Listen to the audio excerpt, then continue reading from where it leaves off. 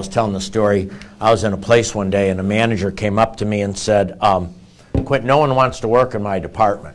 I said, "Why not?" They said, well, you, "Nobody works harder than us, and it's really difficult. We work harder than anybody else in this whole place." and no one wants to work here. What should I do? I said, You got to shut up. Who's going to want to work there? And you tell them that. And I think cities fall into that same, same trap.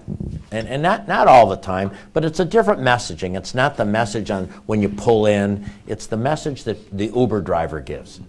It's the message that the normal person in the community says, like, we have a good this, we have a good that, this is a good place to, to live, and so on. So, did you want to add anything? Nope. Okay. So a couple things just to write down here. I, I wrote down how, how do you currently support the stuff you want to support, and if something's got to give, what gives? And you got two buckets here. Now I will tell you, in traveling the country, this bucket's getting a lot more attention than this bucket right now. Mm-hmm. Not saying for you.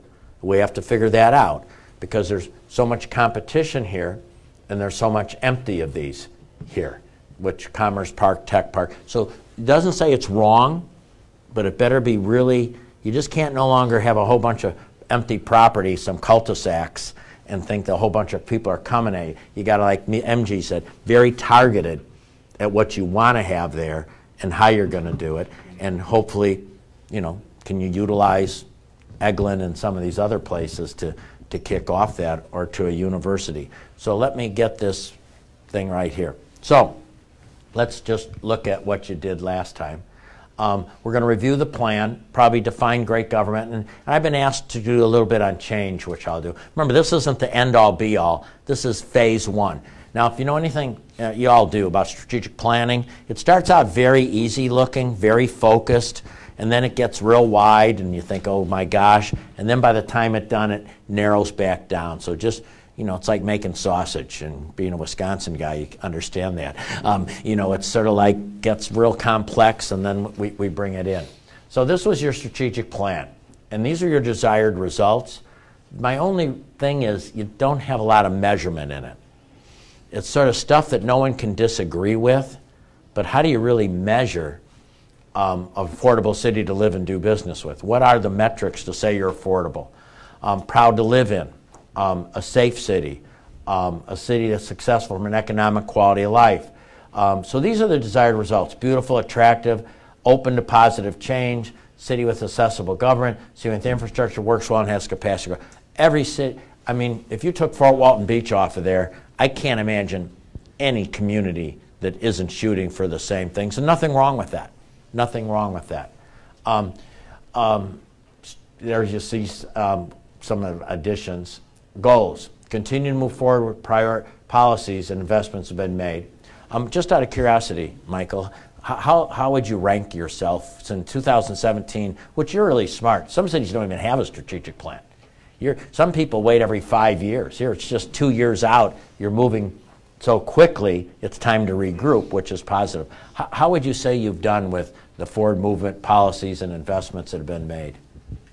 I mean, I, I think we've made progress with with because if if you go further into the strategic plan with the strategies, mm -hmm. we actually put specific projects in there. Good. And I mean, we we've made progress on all, but once again, we were not really focused. We just went a hundred different directions and made small progress on a hundred different projects instead of bringing one or two to the finish line and then worrying about the next one or two. I think that's real common and that's also not great is we go in a mile wide and an inch deep instead of sometimes should we go a little bit deeper. But that's the hard part because then you've got to let a few things go. And we have a real rough time letting things go. In fact, especially in, and not here, but I, I talk to a lot of entrepreneurs. I'm the entrepreneur in residence at University of West Florida and and their challenge is they want to do so many things. It's always getting them to scope back and say, what's what's the one or two things you can do? It's like you know a, a builder. You, you, sometimes you can't be experts in every type of construction. So so where do you where do you yeah? but where do you focus in on? Where, where where do you go? So I think that focus, and we'll get into that. Um, is there any project policy, any investment that you feel you, you, you wish you had made a little more progress on, just out of curiosity? I'm not trying to put you on the spot. Yeah, I'm just curious. Maybe the emergency operations, because I think that was one of our big things in 2017 was coming up with a, you know, way to address. Yeah, our, our emergency planning and management, um, we've we've kind of it's it's kind of been on the back burner, and then we have Hurricane Michael hit. Now we're we're scrambling, but but yeah, there there's some emergency operations, really public safety. I mean, there are some things we need to do there that we just w- we've been more focused on the public, the projects that have the public side instead of really internal. Okay. Um, develop significant new features that will make the city even more attractive to visitors, business, or residents. What were some of those? And maybe it's in here somewhere. Is this it? Yeah, these are, these are the uh, specific Yeah. issues. You feel pretty good about Jet Stadium parking, tennis center, operational plan? Yeah, we took care of Jet Stadium parking. It's gone. Just there to take care of. But but we have we we've we've done a lot of work on all those. Okay. Um, diversification, support neighborhood development efforts. That's kind of a we didn't really have a lot to do with that. That's really builders and developers doing that. Uh, but yeah, we uh, like I said, we've done work on all of them. All of them. We just haven't. Really What's, what's the most successful private-public partnership you've done since this?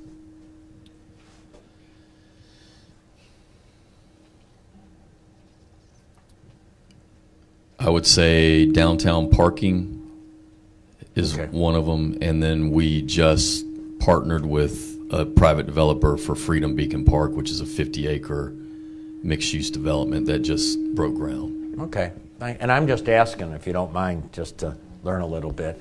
Uh, marketing efforts, you hired this guy over there, right? Yeah, progress. Um, internet bandwidth, you know, that's really interesting, and you bring this up, because when we travel the country, this is probably the number one issue most small, go ahead, I'm sorry. I, I'm just was going to reiterate. Um, I had a chance to talk to a few citizens as I was walking around, and one of the things that they brought up was that the, the need for fiber optic bandwidth to attract um, high tech companies that need that bigger pipe. Uh, so I, I was glad to see that up there.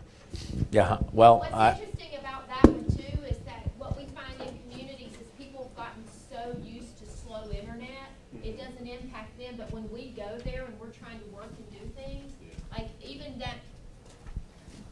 In particular, things like online learning where it requires a lot That's of bandwidth for streaming, companies are saying we're having a hard time training our people. We send them other places, which then gets the revenue for you know the uh, hotels and that sort of thing. But what we find to be the most true is that people aren't. We're not looking for giant, big broadband in some of these communities. We're looking for really good, solid, basic um, internet structure, and they don't have it, and they don't realize it because they've gotten so used to really bad connections. The biggest complaint we hear today is so many adults and young people do their learning online.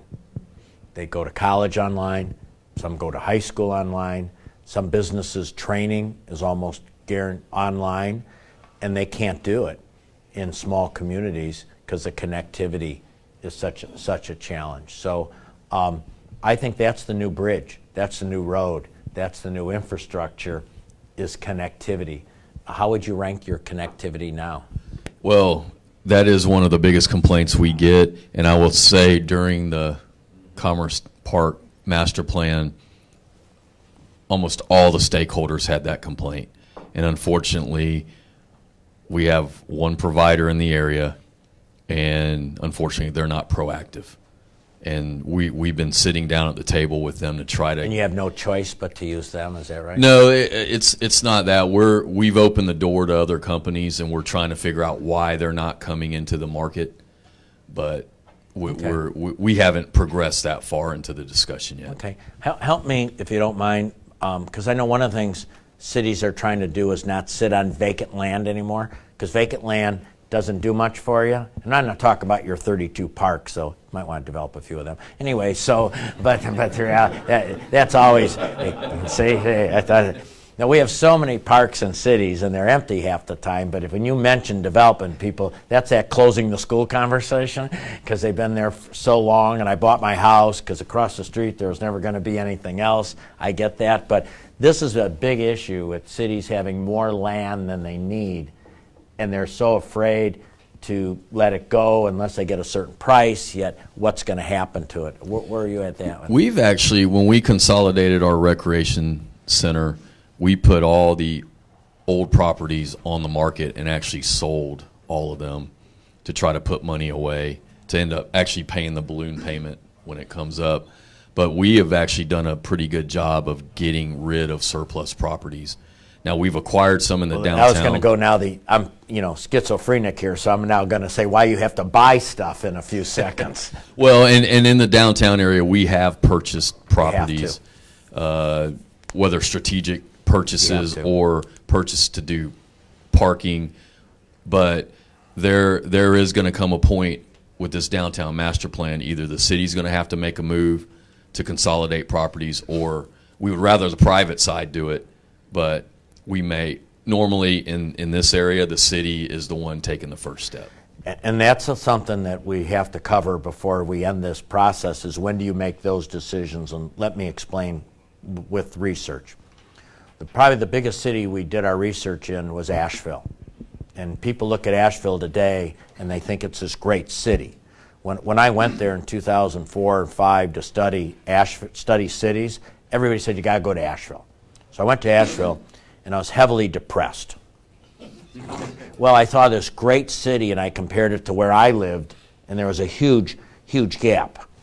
It's like my wife comparing me to like Brad Pitt or something, you know, there's a gap there. And anyway, um, and, and not, well, maybe not that big a one, right? but, but anyway, but anyway, um, but they showed me pictures of what it looked like in like the 1980s boarded up buildings, um, empty things. And, and here's what they told me, which was really, really difficult. And they were lucky. They had Pat Whalen. And Pat Whalen was a wealthy guy who wanted to have a great downtown.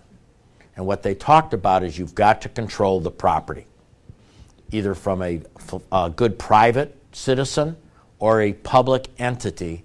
Because if you don't control key property and it goes to the wrong use, it can kill a city for five, 50 years, 30 years, 10 years. If you want to see an example of that, go online and hit Janesville, Wisconsin, um, Graft, G R A F T. And I'm just telling they're in a fight right now because over the years he's bought a lot of property downtown. You can't blame him. He bought a lot of property downtown and the people sold it to him because it was available. The challenge is he doesn't have the funds to fix the property up. So the property gets worse and worse and worse. And the challenge is some of that old buildings are in the prime location of the community, and now they've got to figure out what to do. And some of it is even if you don't put this much money in, we're tearing it down. You know, it, it's dangerous now. So I think even though I sit here and say, get rid of some property, you might, as a community at times in a city, have to strategically purchase some properties, or else they will just completely stop your development. Does that make, make sense? And that's this yin or yang that you're going to have to make decisions, because, and that's particularly true in a, in a downtown. You, you, you might have to purchase some property to consolidate it, to do some things with it, um, to open up some things, and, and you might not. You might get such so hot that private developers want to come in. But that's the other thing. It's really your codes and your overlay district type things, and um, not not every developer or contractor likes this. It- maybe they will, but you've got to have guidelines on what you are going to allow and what you're not going to allow, or everything that fits doesn't work. And I'm a big every every person from we've studied had a form-based code in, and they had overlay districts in. Now, that's where city councils need strong legs, because that's where you get the pushback. I'm not saying you have to or don't have to. What do you have right now in place? We, we have in a, our only overlay district. and Correct me if I'm wrong, Chris. Is downtown, Yes. Okay, and and and we did that five six years ago. Smart. to create an entertainment, business and entertainment district. Um, and I will say, one of the recommendations in, in the final plan is going to be res- be restrictive, get more restrictive. In 2012, when we changed our code, we opened it up to everything. Now it's time to really close it back down and, and really, I hate to use the word dictate, but you're almost dictating what, what types of development goes in. Yeah, downtown. not all development is good. I mean, it's, it's not, it's, it might be good, but it's what location is it in? Because with a downtown, you want to create foot traffic. And you, you want to create density, and that's the other controversial thing. You know, people panic when you talk density, especially when you live in a community like, like where there is a lot of density outside here. Yet at times, density is very good for stormwater, it's very good for the environment because it takes less space and it goes up versus sprawl. And that's sometimes a little bit controversial too. But those are the those are your success is going to create more pressure on you to make these type of decisions. Because I think as you get more attractive to development, more attractive to investment, now you have to make some of these tougher decisions on what do we allow and what don't we allow. Well, you don't have any height limits downtown, do you? Only the, Um, 120 feet. it's based on Eglin's mission. Yeah. So, you know, you're, you might be limited on that. At least you can blame somebody besides yourselves. Huh? But uh, w- w- ours, ours is 70. So they're go- we're going through that right now in Pensacola. Because, you know, we are very excited that somebody might want to put a nine story residential unit downtown. Okay? Um, but it, that means it's going to have to get a variance. And then watch what happens when that shows up. you know what I'm saying? But if you look at it financially and where it is with land, it takes it makes some sense. And also, people want to get up high enough to look over the town now and look over the to see the water. So, but I'm not saying these are just the this is the consequences of, of success consequences of creating a community that you can even have these conversations. You've had some really good. I was very impressed with um, the DOT money that's coming at your way. Everybody's aware of that, right? Yes, and, and just if you're not, with, with the downtown master plan and around the mound concept, we've worked closely with DOT. They stepped forward late last year and pledged 700,000 out of the 750,000. All we had to do was provide the remaining 50,000 as a local match. That agreement was signed in January. We wired the money last week to DOT, so that study should kick off any day now. And what's the goal of that again, just for me? It's the feasibility study, and they're going to look at corridor, different corridors to determine what the best route is for around the mound. Um, make sure it can be done, ha- what the effects of on traffic it will have, and and uh, it'll take about a year to complete. And then after that, DOT will make their recommendations, and our goal is to get it move move it forward. Yeah. Um, couple of. Go ahead, John. In, in my humble opinion, the, um, sorry, in my, in my opinion, that's going to be the real change that happens downtown is the around the mound because I think it'll primarily come from state funds. I, I know that we have a, a plan we're implementing for the downtown master plan, but I don't know that I see us spending 20, 30 million dollars doing it. What I, what I think, what I, what I see happening is, is this around the mound concept happening, creating more of a destination for the downtown, and this plan that we're creating, we use that as a guideline to um, push forward the development that, Mr. Beedie was just talking about. So we, we have kind of a rubric. This is what we would like to see happen there. But I think that this state-funded DOT round the mound, I think that's what's really going to make the change, not the city buying and rebuilding the. That, that's the home run Yes. sir. in my mind. If you can get that, that's the wow. That's the transformational change that you'd want. I also think when you look at things, and I, again, sometimes if you can do it in phases, if the phases work, because the real goal is to get private investment. I mean, that, that's really what you're shooting for, is to do enough to attract the private investment so you don't have to do any more because the private investment takes it over. Does that, is, would you agree with that? Yes. Yeah, that's what you want to do. And I was telling Mike, um, Our, our Michael, our, our, our CRA now is flush, and one of the recommendations you'll see in the book is to close that one down and move it over to where it needs to be. And a lot of times, you know, people don't want to give up that, but those are some of the decisions you'll make down the road. But the goal is to get um, good, good investment, not investment, but the smart intellectual investment that you want that fits your overall plan, which is create tax revenue, attract people, create better jobs, and improve quality of life. I mean, when I look at the four things that I've heard from you over and over and over again. So I said basically get rid of property and buy property. Sound like an attorney, don't I? Every, every, time, every time I have an attorney, I say, What do you think? He says, Well, I, I could go here, and then I could go here, and then he's right. Yeah. Um, invest in safer city. Um, develop specific plans addressing vagrancy and challenges of chronic homeless. homeless. If you can do that, you can sell that to the rest of the United States right now. Uh, tell us about that, because that's the biggest. When we go to cities right now, and, and I'm, I'm going to say both these words, but I'm not saying they're the same. It's homelessness and panhandling. Yes. You- you- And that's another thing, you have to have strong legs within, um, but both of those, but people commingle them. And then some group jumps at you for doing this to these poor homeless people, when you're, it's different. But I, I'm just saying from a messaging point of view, to separate the, you'll read this in the book, is just vital. Do we want to talk about that?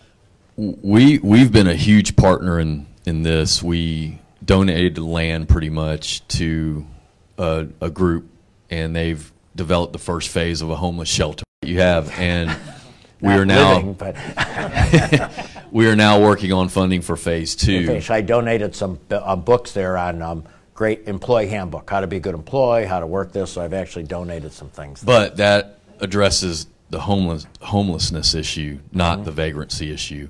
And we were actually improving on vagrancy, but however, with Hurricane Michael, we've seen a, a new influx uh, um, into our area. So we're having to deal with that now. But that's that's been an ongoing issue what's the 20 difference between vagrancy for my sake and panhandling? it's just terminology. Oh, okay, okay. I, I think I, I will say um, my wife and I years year, I, uh, years ago I was working for in a healthcare system just as a consultant in Santa Barbara. I'd never been to Santa Barbara. I, I, has anybody ever been to Santa Barbara? It's unbelievable. So I, I- call her and I said, "This is unbelievable. I feel like I'm in a movie set uh, out here." So about two years ago, I was very excited because I got put on the board of Betty Ford, which is out there in Rancho Mirage. But we went sort of got there early and we're going to drive up the coast, go to Santa Barbara, and then head over. Santa Barbara was very difficult to walk around downtown because there's so much panhandling there. You couldn't almost walk.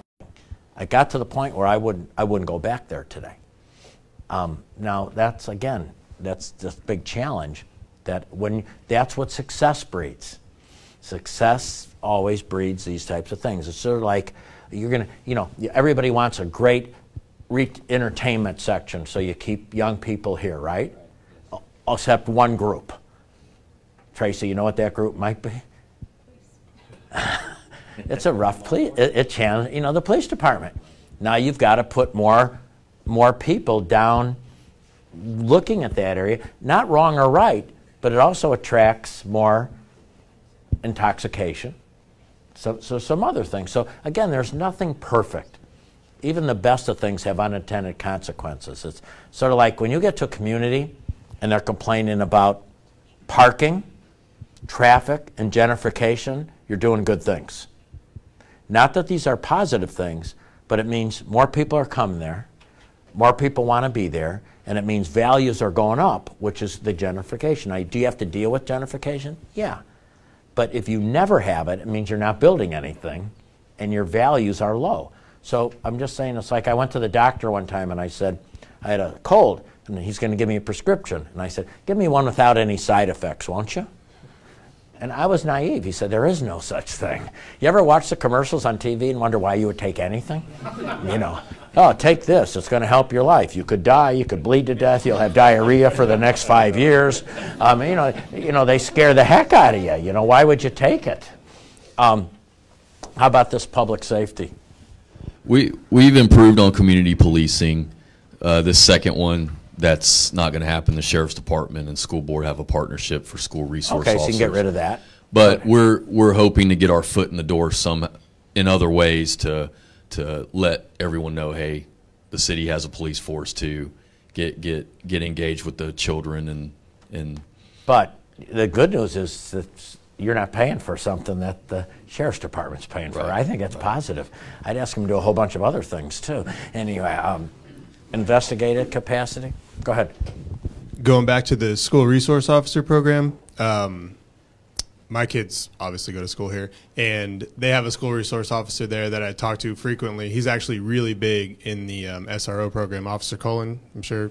And so one of his things that I was talking to him recently was not necessarily the taking over by another police department, but the interoperability in his in his opinion was kind of the lack of training because it's not going to be just the sheriff's office that responds to these incidents. It's not going to be just you know You're Mary right. Esther's fire department that's close over there, Ocean City. It's going to be all of these agents having the ability to train with and, and learn these classrooms and learn these buildings because they're all different.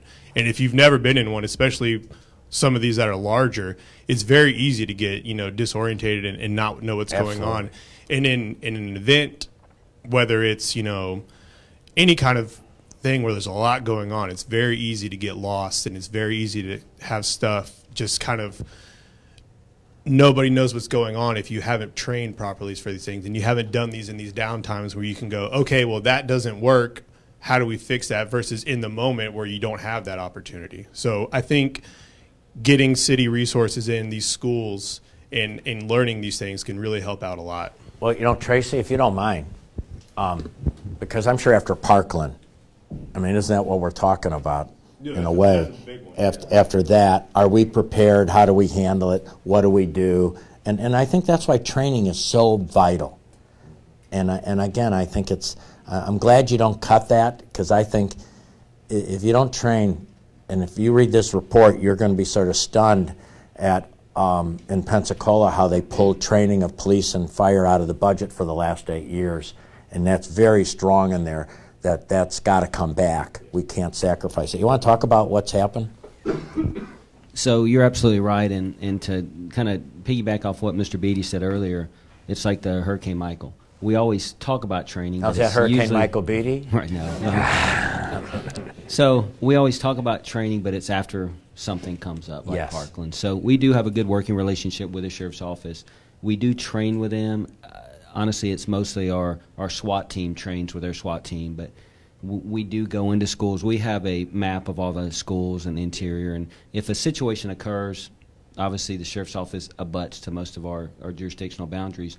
We're all going to respond. Whoever's the closest is going to respond and go in, whether it's in that area or not. So I think that's good messaging, though, because I think that's a huge concern for anybody that's got a child in school today, because they have the alert system now, lockdown, and are we prepared for that in our local community? Right, and, and that's changing nationwide too. You know, where it used to be going into school, something that was you waited for three to go in. Now it's first on scene goes in because you know you're preserving life and, and that. So uh, to go back on you, the sheriff's office absolutely has their school resource officers. They train well together. They're statewide. They get certifications and they get awards every year. So that is a good group together.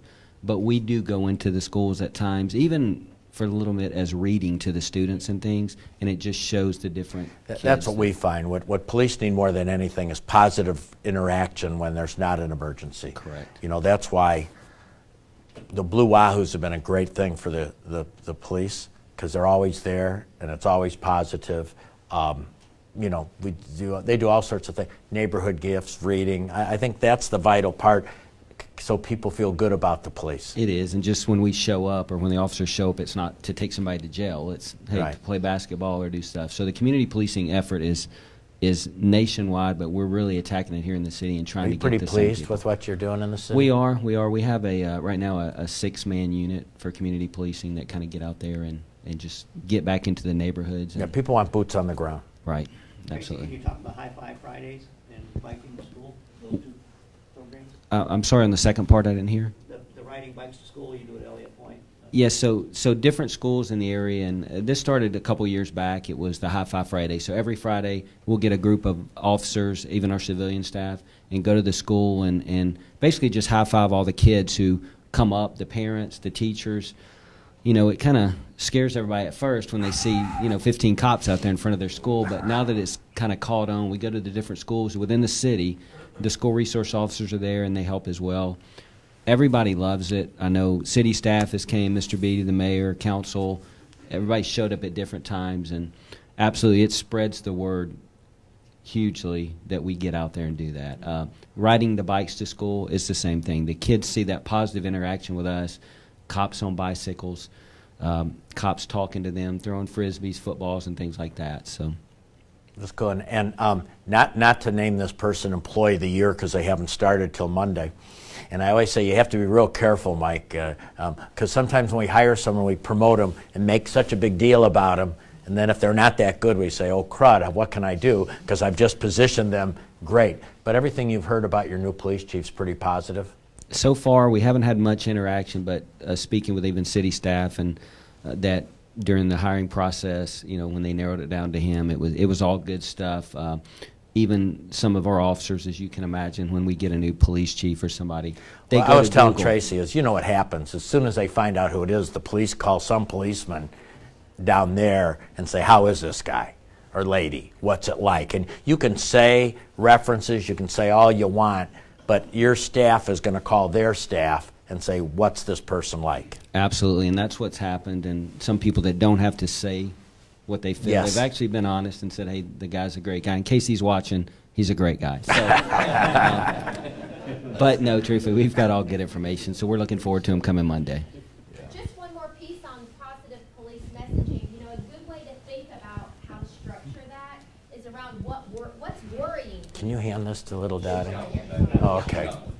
That's just so the Facebook and everybody's a watching good a good way to think about positive police messaging is to always think about what's top of mind for people and what's worrying them. And school safety is a huge one. I think maybe two years ago when the um, the the school shooting was handled poorly, they thought by the maybe the local police department. I can't remember what all the details were, but you know it really really decimated the morale in that department for sure.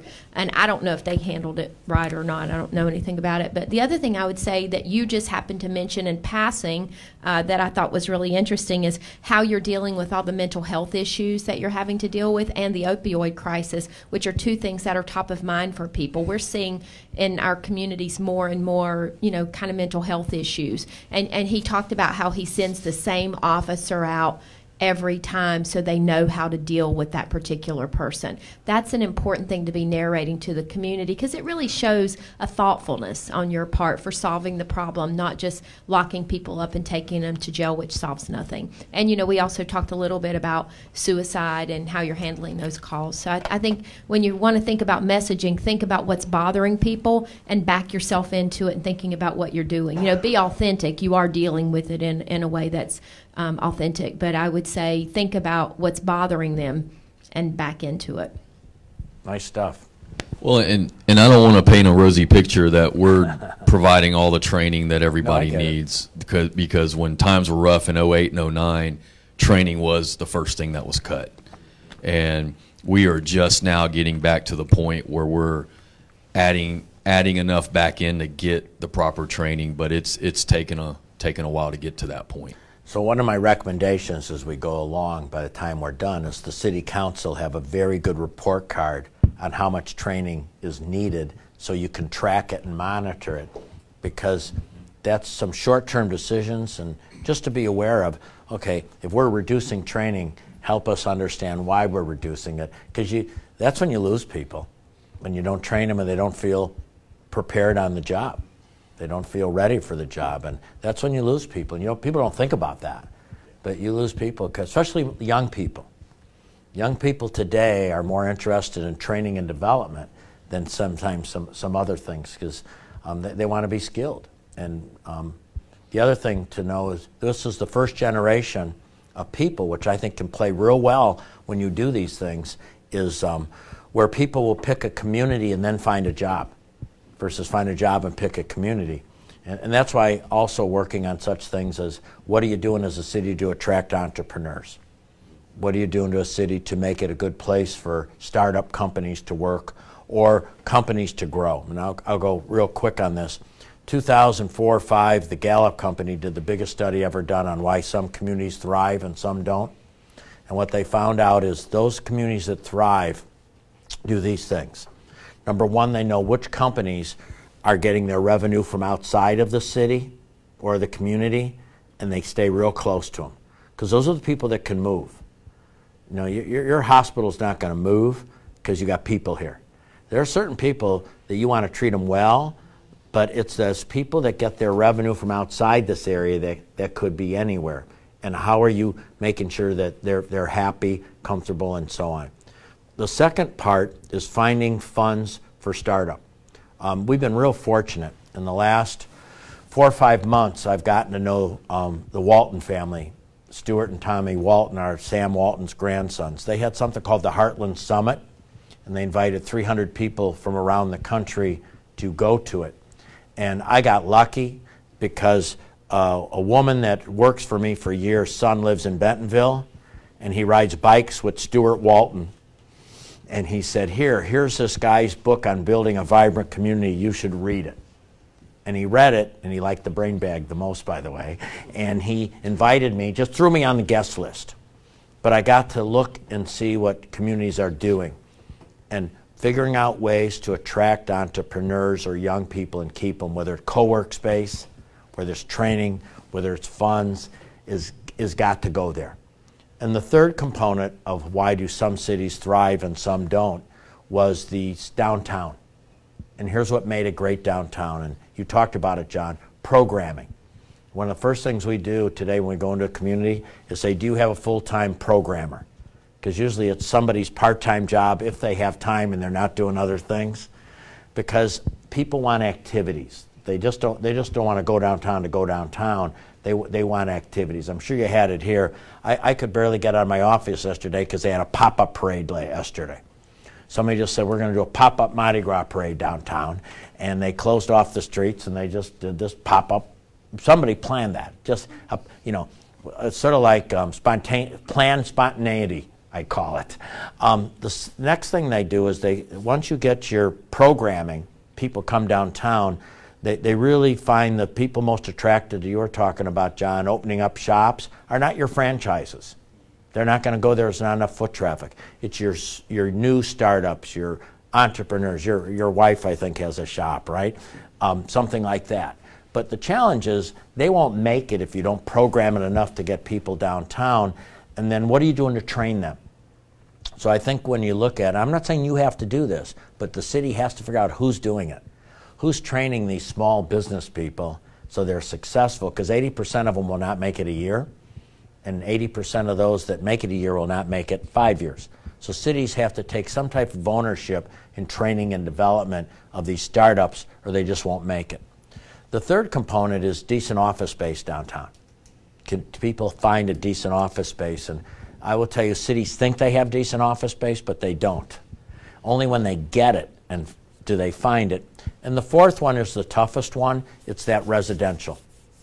It's, it's that residential because that stabilizes a, a community.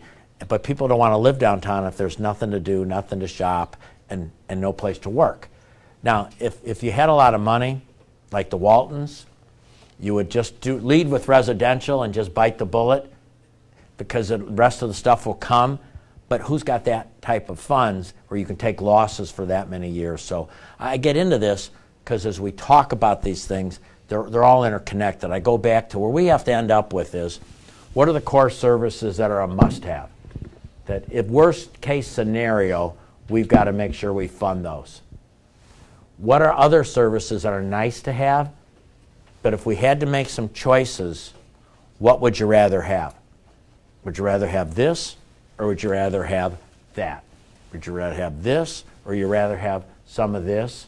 Or would you rather take some of this and put it more into some of that? Th- those are the, the what we'll walk through. The third one is the future. And the future is, okay, we got this forward momentum, but we have some you have some really good plans. I'm not sure you can find 80 million bucks laying around. So how, if you had to prioritize, just how do we prioritize? And then the fourth thing I'd like to walk away with when we're done is a decision matrix, a decision tree. So when people come in, it ties into does it create jobs? Is it sustainable? Does it improve property tax? You know, does it impact the quality of life? And I don't know where we'll get, but we'll get there. And we'll get there where you'll all agree on the matrix, and then the city council needs to put point systems on that. So you say, I'm just making this up. Well, this is an 80 pointer, and this is a 60 pointer. So even though the 60 pointer sounds good, it's, it's not an 80 pointer. And sometimes you have to make those types of decisions. You're, you're in construction. If you're really, really busy, you're going to make different decisions than if you're not busy. Yes. And some of it's going to be based on margin. You learn to say yes. Yeah. To say no. You're going to say no. And you've had to learn to say no. Now, there's always fear of no, that, you know, Because next year there won't be none. There, right, right. But you've got to make those tough decisions.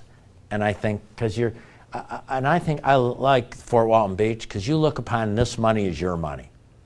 There are too many government entities that look upon government money as not their money. I was, we were in a city that um, they had an, an independent contractor that went way over his original bid. And then he showed up and said, Well, I went way over my original bid, but I'd like you to pay me what I did. And they all voted to pay him. Now, I wonder if that was their own money, if they would done that. I'm not sure they would or they wouldn't, but we're not playing, we're playing with other people's money or our money. And I think sometimes when there's government money, we'll spend it because it's government money.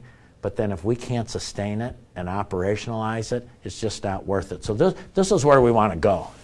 This is, in my mind, listening to all of you, and we'll change it if you want to change it. We, we work for you. I just wanted to uh, piggyback real quick on this idea that people, young people now, are picking the community that they want to live in first, and then finding a job, which is a new trend um, that's that's not been in place before. Um, and Quint talks about this all the time. He didn't mention it this time, but I've always thought it was interesting how communities always parade themselves around as being shovel ready. And he says everybody's shovel ready. You have to be talent ready and meaning if you get the talent in your community, the business will come. And the way you get the talent in your community is to be a great place to live, and that usually the, a great downtown is the heart of that. So I think that's a good way to change your thinking and um, you know get, attracting good people to live here, and the business will follow. And I talked to the mayor just briefly about incentives for small businesses, which is something people don't do as often. You know, they tend to incentivize big companies, but small businesses sometimes have to have some incentives too. And I know that you've done some good things in that direction, which I think is also worth messaging. A- Asheville had something called BizWorks, and it was a small little entity that trained and could give some small loans. And they created 1,500 jobs almost. And I mean, here's a loan. I'm a cosmetologist, and I have one chair, but I'd like to have a second chair, but I can't afford the second chair. Um, and nobody will loan me money for a second chair. Well, BizWorks would loan them the money for the second chair and put some assets on it. But they really based on that 60 80% jobs were organic. And where the story came from, I was in a community talking, they had a big billboard because they're on the interstate, and it said shovel ready land, shovel ready land, shovel ready land. While I was there, um, I asked what their high school graduation rate, and this is a state with pretty high education, and they said we're at 90, 93%. We're a little concerned because we were 94. Now I'm sitting in a city that's 66 and now I think we're up to maybe 70 or 80. could- But you worry, you know, how, how you get so quick so fast. But um, I said I'd change the billboard out. I'd put you got talent because that's what people are looking for. So they ended up attracting a 500, uh, 500 employee logistic company. And it wasn't the land. The land was nice. They gave them a sweet deal on the land, but they wouldn't have moved there just for land what they moved there the fact that they felt they could hire the 500 employees that they were going to hire there. So I, I think it's talent ready, what you were talking about. They've been very vital to, to where you're where, where you're going. We, we have another community where we uh, they've been very successful in attracting the business, but the people don't want to live there. They're driving 30 minutes away, and so what they're leaving on the table by people not wanting to work in that community because there's nothing to do. So- Yeah, when um, one of the local companies has been generationally owned forever, like grand, grandfather started it, my dad had it, and I had it, and they've always had CEOs, and this is the first time ever their CEO's not going to live in the community because he said, I just don't want, and he's going to live a half hour away. Why? School districts, great downtown, something I think it's called, somewhere, it's in Georgia. So how about EMS transport? That was something we tried to partner with the county on, and they just that weren't, work, they Ken? weren't interested. When we looked at the EMS transport at the time, it's been a couple of years ago now, it was almost a sense of self preservation. Uh, the county was going through a very, very difficult time uh, staffing their EMS units, and, and so we would sit on scene for long periods of time waiting for an ambulance. Um, since that time, they've, they've got some new leadership, uh, and, and they, they have done some stuff that's bolstered that a little. So it's not this is something that's not as important as it was So- at the time so when we this- came up with this. This could probably drop off. That's even. correct, yes. Good, some, that's good. All right, uh, monitoring, tr- so probably the same thing with it. right quick. How about our advanced life support system and transport? Because I believe when we talked that we provide that for other fire districts other than ourselves. Is that a correct statement? We, we provide advanced. We provide advanced life support service for the residents of the city. We will do it for mutual aid outside the city uh, if it's something that we run. Um, one of the areas I think maybe what you're talking about is the west side of the city, over in the over in the Commerce and Technology Park. Um, we are not the first response or second response fire department in that area. We rely on Mary Esther to provide medical services, and they do not provide ALS over there. So those those residents and businesses are getting a BLS service rather than, than the ALS service that we provide. All right, thank you. Um, Invest in safer city, improve Suffolk relationship with cities, support Okaloosa, Walton counties, physically divert vigils for mental health. Can you talk about that one?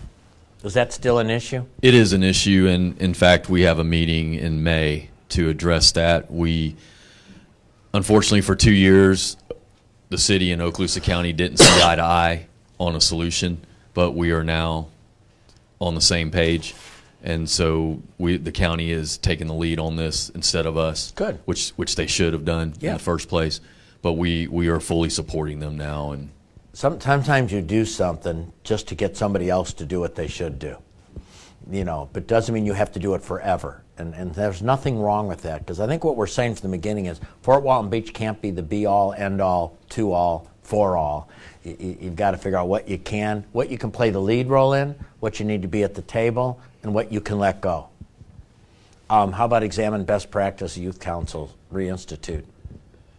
we've looked at it, but haven't really taken it anywhere. You have to wait for me to get off the seat.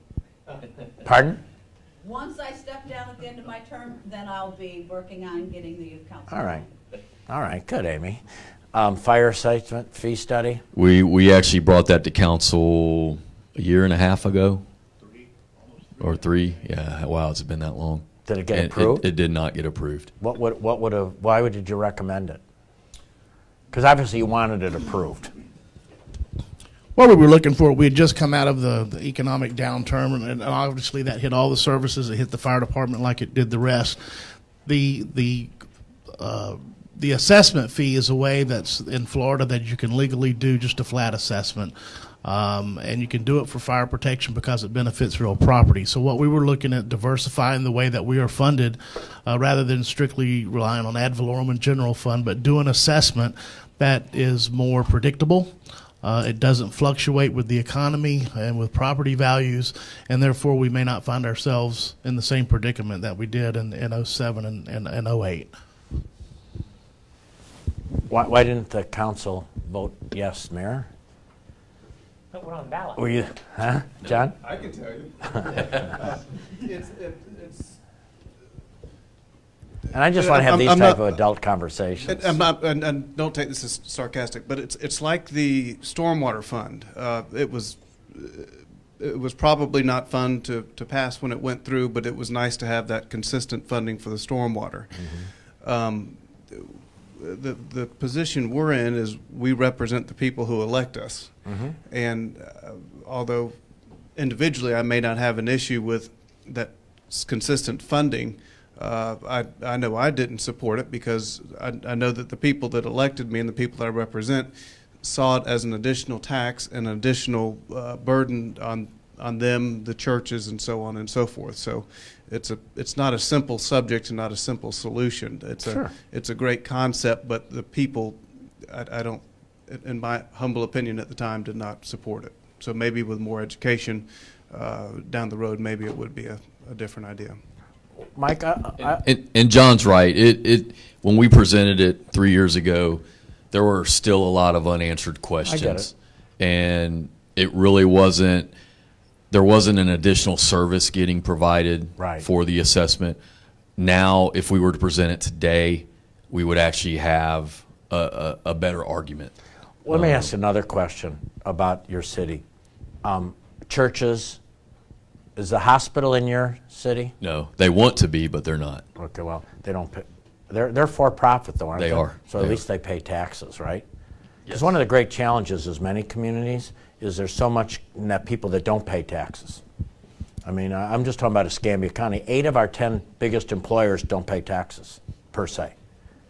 You know, Navy Federal, um, hospitals, um, government, school, um, and, and sometimes you still have to provide them services, right? Do they pay something though? Do they pay fire, police? Do they pay something? They, they do not, no. Okay. That was one of the things that came out actually in that fire assessment. We have a lot of those properties. Well, some communities are doing that. And, and what I meant uh, as I travel, some communities are saying, we, because you're going to get police and fire, we do need you to pay something to help do that because you're a big player in, in this community. So you're starting to see that conversation happen. And that was one of the reasons for the fire assessment. We have, uh, I don't know if it's 10 or 15 percent of our properties don't pay ad valorem. Right. And the fire assessment, you can actually assess those properties. Um, but it's a tough decision for the elected officials to make. Yeah. Well, you're seeing it in hospitals today. Now, you, you have a for-profit hospital, which is means they won't. But when you got these giant not-for-profit entities that are sometimes two billion dollar op- companies, um, you know, that use a lot of resources, you're sort of seeing that conversation happen in a, in a community. And some of them are actually coming up and offering it. Because what happens is some governments are questioning should they be not for profit? Because you know your CO's making a million bucks, this, that, this, so they start questioning should you maintain your not-for-profit status. And once somebody questions that, they start saying, well, why don't we do this? Why don't we pay for this or pay for that? And it's just have Illinois' prop because uh, again, Illinois has been forced to have these decisions because of their poor financial condition. They're looking. I'm not saying it's wrong or right. It's just these types of conversations are taking place around the country. Well, and the other reason we look at things like this, alternate revenue sources, is because every year the state tends to take away. Yeah. Uh, whether it's another homestead exemption, if it's a, an unfunded mandate, Or- and, or- and we're at, we're at the bottom. We, we can't go anywhere else. Well, or, or if the fact that even if you um, and fix up your property, they can only raise your property tax this much, even though it could, you know, you're limited, aren't you? Yes, 3%. When sometimes, like we we've benefited from that. We've gone in and put big money into projects, and we're surprised our property tax hasn't gone up more, but they're limited to three percent. Um, how about last part? Broader development areas visible. Update the CRA plan. So we're in the final stages of updating our CRA plan. We do that every five years. Complete a major CRA project. We've been doing, really, the biggest projects we've done is parking. We're about to renovate our landing park, which will be a huge $4 million project. Downtown, it's, it's kind of taken off on its own. That's cool. That, I mean, that's what you want. I mean, you want to sort of prime the pump, then you want to be able not to have to prime it because it starts going on on its own. CRA district, we are recommending to expand our CRA district. Uh, Commerce Technology Park, we're finalizing that plan. I think it'll be done by the early summer. Oh, and then CRA for Hollywood Boulevard, I believe that's one of the expansion areas that, Okay. that our consultant is recommending. Okay. How about this one? Create a master plan.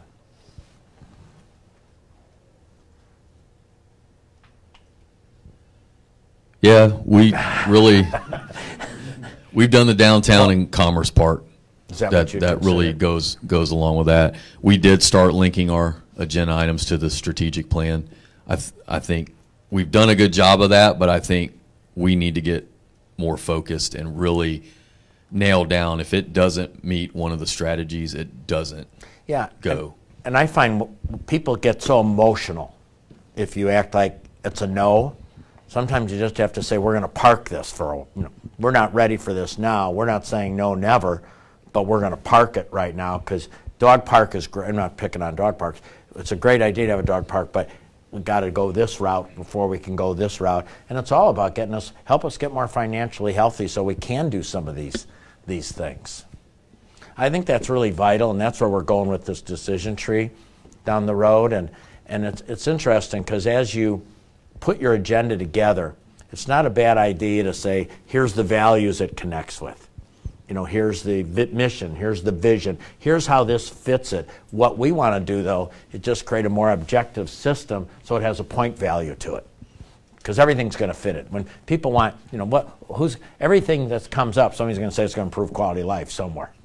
I mean, you know, every it's all going to improve quality of life, and it's all going to have integrity. So now it's to what degree? How do we prioritize these things? Facilities master plan. We've got our consolidated field office complex under construction. Yeah, that, that, that, by the way, is another thing that we find cities miss. They don't plan out how much capital requirements are we going to have. Like I asked you the fleet question. How many new police vehicles are we going to do? How many this? And what's really cool in the fire area, and, and Ken, is vehicles are getting smaller, not bigger.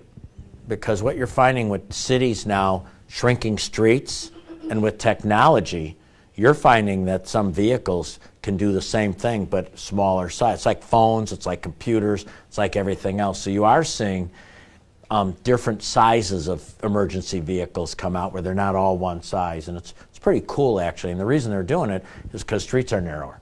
More people are putting more trees in and narrowing streets. If You put more trees in narrow streets, giant trucks can't can't get get through some of these. So you've got of course somebody smart enough said we're going to make a smaller truck then. We're going to do this type of thing. Um, master plan, some of the same things. We've tried the top one, but for political reasons, nobody wants to partner with us. No, I, I, I, I, it makes so much sense. That's why nobody does it. It's sort of like somebody's got to give up something. To give you an example, um, uh, about five, six, seven years ago, I thought homelessness in my area was important. So I actually sent two people to, to um, San Antonio for a week because they're like the mecca of figuring out homelessness. And they came back, and I said, What did you learn? They said, Well, the first thing you have to do is you have to have centralized case management. So if you centralize case management, because then that person can sort of put where they're at. Makes a lot of sense. So I met with everybody that provided homeless service that had a case management, and guess what they all said? We don't want to give up our case manager. So check that off. That didn't work. Second thing was same software system. So you have the same software system. So, you know, we always say we feed our homeless so well we have an obesity problem. Anyway, so because everybody wants to feed people. Anyway, so you come in and you get a free meal here, and then you know at nine o'clock you can get a free meal here, and at eleven o'clock they got a buffet at this church, and at one o'clock you can go here, and then four o'clock you can head here, and and they sort of figure this out. They have a software system that tracks where you're going. So when you show up at the second place, they say, I'm sorry, and they figured it out. So I even offered to pay for the software tool, and they said, no, we don't want to share that. So it is hard. It is hard to do that stuff. I've not had success. Uh, how about staffing levels? Are you comfortable with those? We we do that every year during budget, uh, but w- we're going to dive deeper into that this year. I, I think you have to, because one of the things that we're finding, if there's only, what are the benchmarks? So your, your city, your population, your mileage, how many police officers should you have? How many fire people should you have? If your parks, you know, and I think we've got, public entity has to get better at benchmarking. And, and, and that's, that's exactly what this one was. We, we have not done a whole lot with that. So I And- think one of the things we want to capture is that, because I think when we get done here, we, that's, that's vital. That's a must-have today. And that's where the city council needs to know, what's the report card? How do we compare to other, other cities and so on in that way? Explore, And these last four, we, we've made some progress on this. The annexation discussion is something that will come out of just this. got to be this- careful. Yeah, Can you afford it? right. That's, for the first time, people are saying, eh, we don't think so. You know, it's, it's got to work financially for you, um, I would think, unless you can take the money from somewhere else. Um, these are annexation, right? Yes. Uh, did you do anything with the city-owned RV park? Not yet. Is that a, pri- a, a chance for a pri, because these are becoming pretty profitable. I mean, Yeah, we're, we're actually looking with the half cent sales tax. That was one of our projects to explore. Or, pri- I mean, there's, these are getting really profitable. And it's not, when you say RV park, it's a pretty high level RV park. It's like driving a little condo to the lot. I mean, it's, it's pretty full. The one on Pensacola Beach has just been packed ever since they built it all, all private. Um, options, golf course buildings, just so everybody knows. Yes, we've looked at that. Some of them need, need to be demolished, and Okay. we're, we're looking. at Legally acceptable method to inform residents. I like that, legally acceptable. That's a strong word, isn't it? Um, I- I'm not sure how far we've gotten with that one. How about streetlights? Smart streetlights. That's a partnership with Gulf Power, and they haven't Well, we're done anything with that. I don't know what you're finding, and this is a personal opinion. I'm probably Peep Gulf Power is listening. They're probably going to be mad at me. I'm finding since they are bought, there's they're like anybody that gets bought. There's a transition period when somebody gets bought, and we're finding the same things. There's some some things that they just don't know themselves right now, because with the change in ownership, um, you know, we, we're finding that out in, in, in, in, daily living. Because they were a tenant of ours in one spot, and they're not going to be a tenant anymore. They've always bought a billboard at a, the ballpark. They probably don't know if they're going to come convert a billboard. So we're going through that whole transition period with them now being in different ownership of where that changes. I don't know if it's good or bad. It's just real different right now. Um, anything here? That discussion is just beginning. Okay. So I think the other thing, how often do you bring the progress back on this and connect it to this? Unfortunately, we were only doing it about once a year. I, I would think almost you, on a monthly basis, somewhere they should at least say, here's what you told us to do, and this we're not touching because of this reason. This is we're sort of moving. Because I, I think this is something you just, I don't know if it's monthly, s- every two months, but I don't think you can wait every year to get progress. Is, is that, would you, city council that are currently sitting, Mike, would you agree? Yeah, Dick? Or, you know, Yeah. at least three times. Keep it in front of you. Because I, I find what happens is you don't keep it in front of you till you have to keep it in front of you, and then and then we're not as aware of it, so we're playing playing catch up. And again, these are why we're doing this, and I'm really impressed with. Um, I guess you're Mr. Beedie. Anyway, um, but I'm really impressed with Mr. Beedie here um, doing this and having these and having him so frank. There was no, oh, Quint, don't bring this up. Oh, Quint, do that, or so on. So um, he asked me to The, uh, with the last one there on alternate ideas for cable TV and internet, since you get the opportunity to go to, have you seen a way to help bring this service into a community? And the latest I've heard is, I guess, they're coming out with the 5G Yeah. uh, service, and it may actually make some of these services obsolete because you'll be able to basically power everything in your house off of your cell phone or the 5G service. w- Any we're- feedback on that that the city Yeah, that's use? exactly where it's all going. And I, I think a couple things I would ask you to do. Um, Lafayette, Louisiana's a player in this, but we'll get you some names if you don't mind. The other thing is, and again, this isn't a political statement, but this is something that um, Congressman Gaetz is all over. So, one of the things I was hoping Triumph would do is sort of look at funding these types of things because I know maybe it doesn't create jobs directly, but I think it sort of does, and that's not Matt, that's Don. But um, I do think, for example, um, Congressman Gaetz has been very aggressive in Pensacola, meeting with business leaders to help go the 5G. So I, I would, I think he has that same. Yeah, he's your congressman too, isn't he? Yes. Yeah. So, I, but I'm saying he's very knowledgeable of it. He's on it, and he's it's sort of something that he likes. So I would also contact Congressman Gaetz and get yourself in that top of the mindset.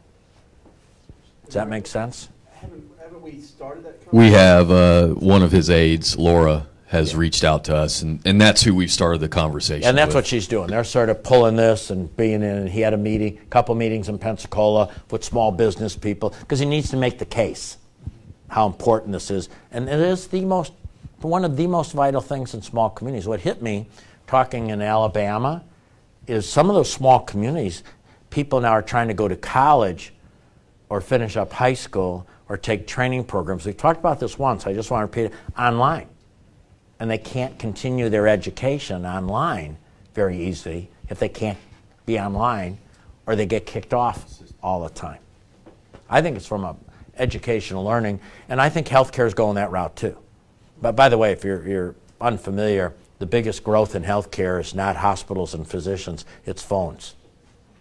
It's, it's telemedicine. If you've read, and it works, and I'm not against it whatsoever. Um, if you read um, the New York Times this Sunday, they did a review of Eric Topol's new book on artificial intelligence and healthcare, how you can use your, your phone for some things. He's got a new book out. Um, I think the Wall Street Journal had something on it this week. Um, but if you're going to manage your health online, you better be able to be online. And how they can monitor you online, monitor your home, so you don't have to be in the hospital or that. So I, I think, Terry, Terry, Terry, the, the, the connectivity is just, it's, it's no longer a nice to have. I think it's got to be a core service if you look at a community right now. Does that make sense? It does, Yeah, absolutely. yeah, and I think th- it's not a nice to have, it's a must have right now. If I was looking at, you talk about re, you know, a downtown connectivity, co-work space can't exist if you don't have good connect, connectivity. Anything else? Okay, um, I'm gonna go to, whoop. I'm gonna go to, well, I, I'm sorry, I want the one with the line. You know that one. So um, Michael asked me for everybody who haven't heard this, and I'm going to go very quickly. Just do a thing on change, because that's what you're going through. You're going through change, and then when we come back next time, we'll have, be able to dig into every one of every one of these. So um, I'll go through this real quick, and then get the other one revved up. Okay. So so anyway, but as we wrap up today, and especially for you running for office, which I know in the elections next, how many people? Is there five candidates for four spots? Is that what I'm sort of just counting here?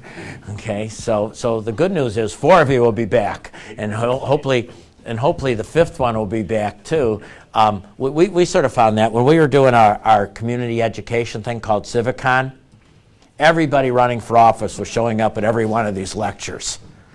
And after the election, it was interesting who kept showing up.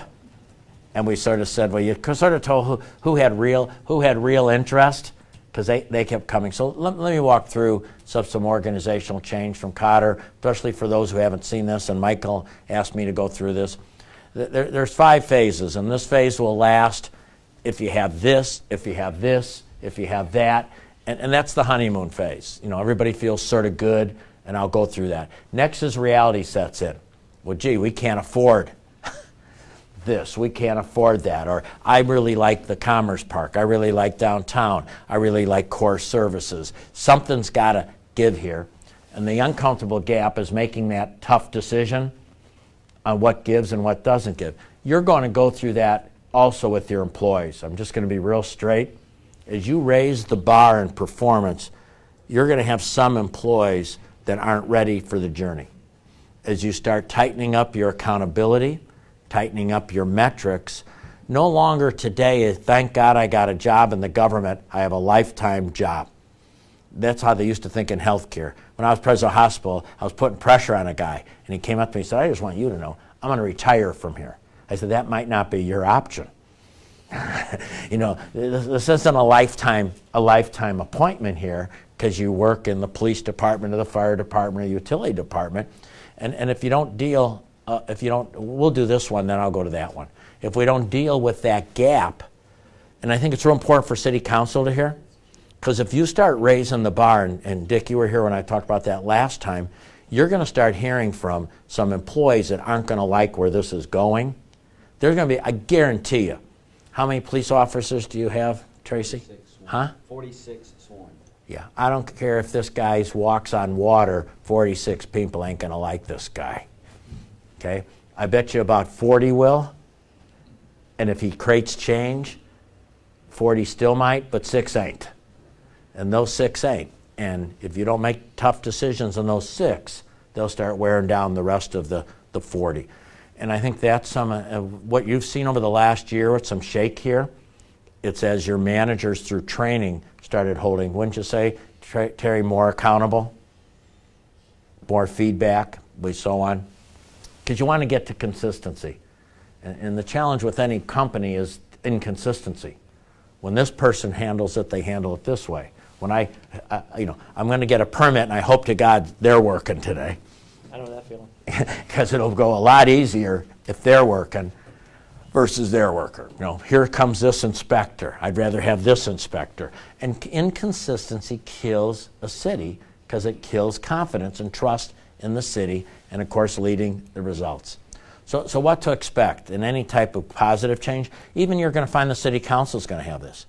You're going to have minimally, possibly, you're going to have uh, minimally, what, three new members?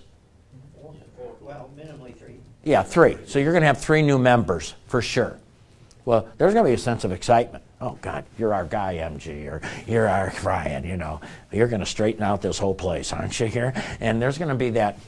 And we got the right to do list now and things will get better and hope reigns and, and you'll bring some new fresh ideas and some quick fixes because you bring fresh ideas and, and what we're trying to do here is build that emotional bank account in the community i mean you know that we are doing good things and dottie talked about it over and over again you have so much wins don't run to the loss without maximizing the win like you said john you, you said something really strong and, and, and michael said it too your downtown's almost starting to get momentum now that you don't have to prime it as much as you had to prime it probably six years ago. Would that be an, a, absolutely? Absolutely. So there's that. You, you built that emotional bank account. You want to hardwire key behaviors, what you're looking for. You want to reward and recognize, and that's something we find misses a lot in, in cities and organizations. Um, you you have an accountability system, right? How, how do you guys do you think you, you on a one through ten? Quint, we have this accountability system to hold people accountable, and we do it. That's a 10. One is we got the software, but we don't open it up. Where are you? I said we're probably about a six. Six. There's still definitely some inconsistencies across departments, and trying to get that meshed together. We're, making progress. But that's, if I'm a city council member, I want that six to be an eight or a nine a year from now. Because if we don't have that accountability system, we're going to have that inconsistency. Now, we're having an open, frank conversation, and I'm asking that, the, the city to be very open, and I think you're very fortunate people are this honest. You know, this, and that's why you compliment people for. I, I tell people in my articles, number one thing of good leadership is self awareness. You know, let's not con ourselves. Um, let, let's look at it. David? Talk about some of the challenges that the directors have with cities that you're familiar or organizations you're familiar working with, with the keeping the, the team members that, that work below them accountable, but at the same time having a shortage of team members. Yeah. Well, I think what happens, and this is really going to be tough, if you hold on to people you shouldn't hold on to because you got a shortage, you'll never get rid of your shortage. So sometimes you have to get worse before you get better and I know it's going to cost, and, and I'm real straight. If I'm a police major and I know I got to deal with this employee, but if I deal with this employee, I'm going to need some more overtime or I'm going to need some agency, and I'm now convinced, convinced that I'll be in trouble with, with Michael because everybody's looking at my overtime, I will rationalize not to make the tough decision. That's good. That's good. Now, if the major comes in and says, I got to make a tough decision. Either I keep this individual, and, and we're not saying just when, you know, we're saying we've got documentation, we've got performance issues, we've got to make the decision. What happens is in a tough employment market, we don't make those tough decisions because we know things are going to get worse before they get better. That, that, that's the challenge, the picture that you just painted right That's the there. A challenge. challenge, I believe, for our, our directors and our staff. And I think they fall into that trap. They don't have the conversation. So they just assume, because they don't want to make the tough decision either, mm-hmm. because this kid might, this person might coach their kid's baseball team for all I know. You know, they're, they're never going to go away. You know, they go to my church. That- The beauty about living in a small community is you know everybody. Mm-hmm. The disadvantage of living in a small community is you know everybody.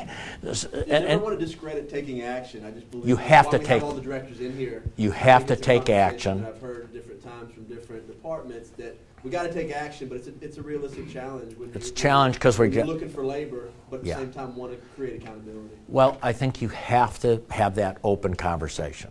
And I'm not saying it has to be at a city council meeting, but I think that conversation has to be, let's just say for now, um, that you're running the police department. And you have to be able to go up to, who do you report, who's the police chief going to report to?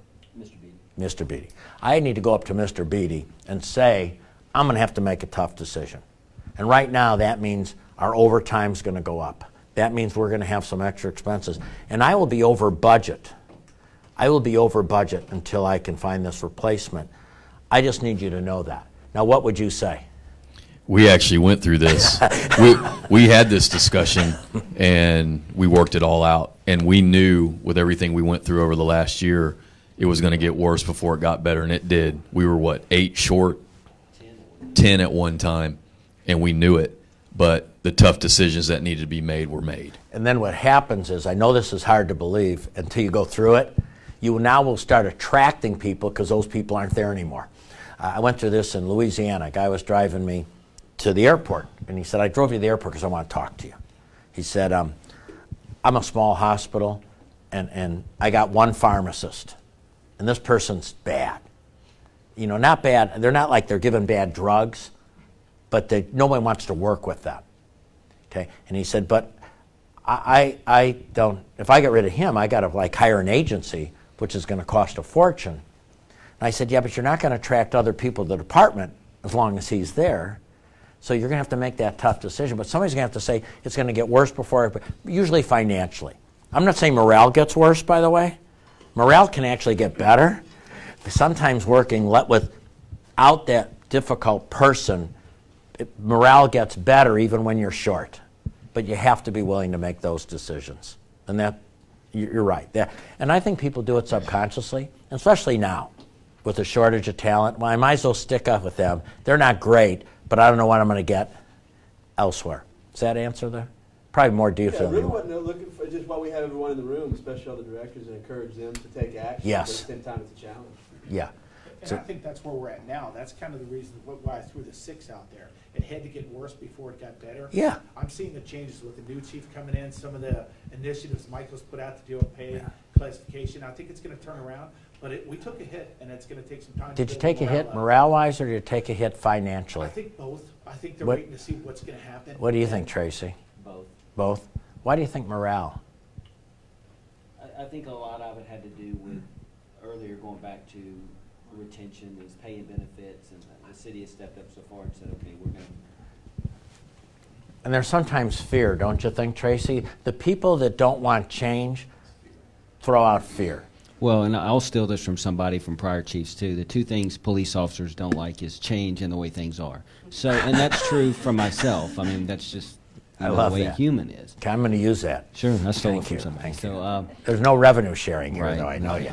So, but with that being said, we, you know, with the new pay and classification study, which is a lot of Yeah. the new officers are seeing, you know, hopefully this is going to come out and that's going to be able to. Yeah. And I'm not saying you don't document, because the other big challenge, and that's why um, Michael's been so good about offering training, but probably that's how we almost met a couple of years ago, um, bringing training in, because the biggest issue is lack of documentation. I think if you ask Terry when somebody comes up to him and says, I'm having trouble with this employee, and you pull their personnel file, what's usually in it? Perfect evaluations.